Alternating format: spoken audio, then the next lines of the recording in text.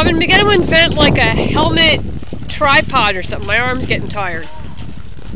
Bill has a helmet cam, which he doesn't use anymore. We could probably borrow that.